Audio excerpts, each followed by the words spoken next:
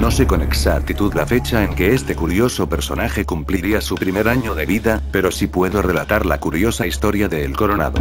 Era un niño de familia rica, de aquellos tiempos donde aún se usaban carruajes y habían grandes haciendas. Su nombre era Fabio Montalvo, era el primogénito y el único hijo que don Fabio Montalvo pudo dar a su esposa, Patricia de la Cruz. El niño era muy mimado y querido por sus padres, seguramente por su condición de hijo único.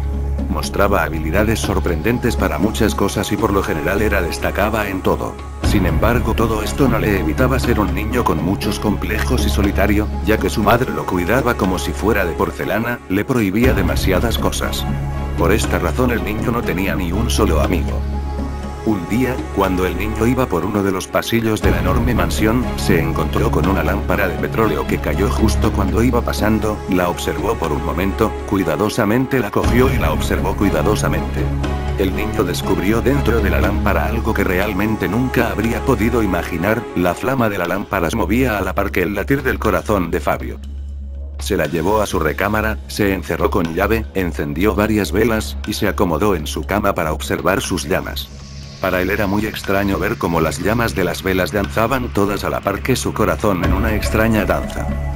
Al día siguiente el niño no bajaba a desayunar, sus padres preocupados subieron de inmediato a la habitación del su hijo.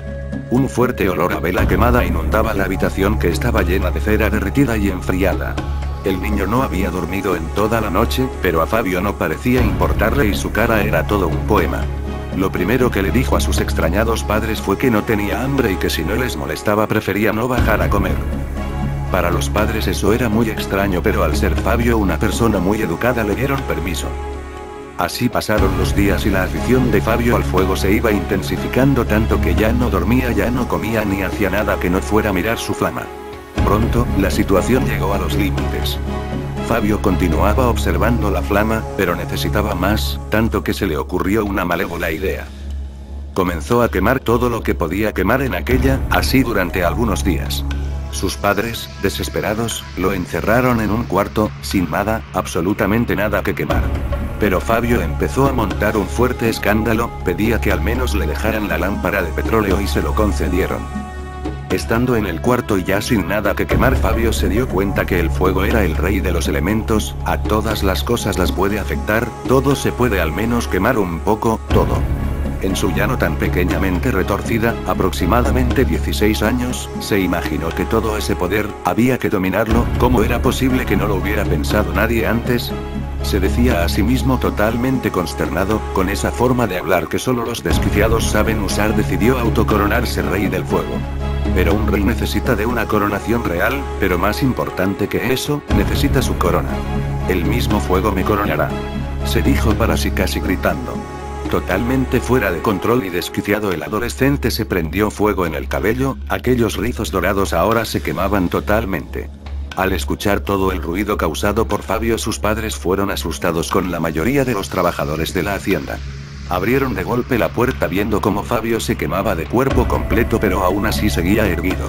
Los trabajadores que de milagro se salvaron de lo que pasó y que estaban presentes describían a Fabio como el mismo demonio, él parecía una enorme llama, su estatura había cambiado y era mucho más alto, sus facciones eran borrosas pero se podían ver unos enormes ojos rojos, en el suelo un fuego azul se extendía por toda la habitación y sobre Fabio una enorme y resplandeciente corona que era de un amarillo intenso. Dicen los sobrevivientes que Fabio abrió sus brazos de par en par y dijo al fin soy yo. El rey del fuego, el coronado. Dicho esto enormes llamaradas explotaron y toda la mansión se vio envuelta en llamas y rápidamente calcinada hasta sus cenizas. Así que de ahora en adelante si ves un fósforo o un encendedor, y te acercas lo suficiente notarás que hay un espacio casi transparente entre la llama azul y la amarilla, ahí es donde se encuentra Fabio, tal vez si realmente pones atención puedas llegar a verlo, pero cuidado. No te vaya a pasar lo mismo que a él. Hola.